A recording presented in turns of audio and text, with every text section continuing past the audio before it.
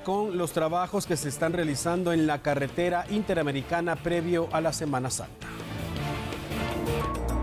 Después del reporte de ciudadanos acerca de un severo desgaste que provocó la fractura del concreto hidráulico en la ruta CA1 Occidente, también conocida como Interamericana, autoridades iniciaron el proceso de reparación. Se realizaron trabajos desde jurisdicción de Tecpanchi y Maltenango, para lo cual Covial identificó los tramos más dañados, retiró el asfalto, mejoró la base y aplicó una nueva carpeta asfáltica para dar paso al proceso de señalización.